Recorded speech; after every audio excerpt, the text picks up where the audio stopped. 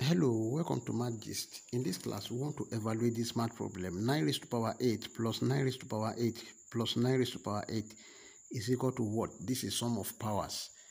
Like, share, comment, and subscribe. Solution. This is 9 raised to power 8 plus 9 raised to power 8 plus 9 raised to power 8 we don't know the value yet.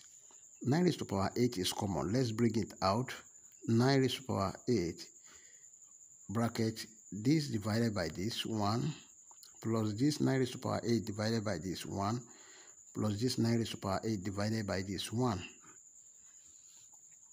This is equal to 9 raised to power 8 bracket 1 plus 1 plus 1 3 and this is also 3 raised to the power 1 then this is equal to 9 raised to power 8 can be expressed as 3 square raised to power 8 bracket 3 raised to power 1.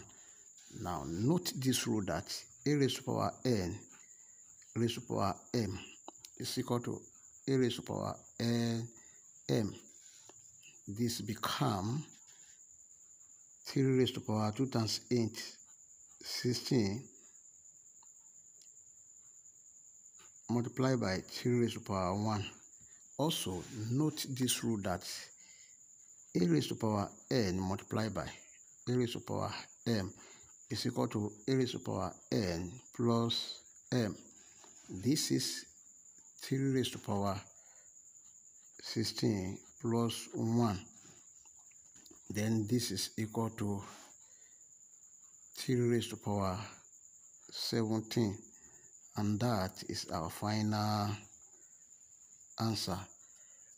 Before you leave like share comment and subscribe. Thank you. Bye bye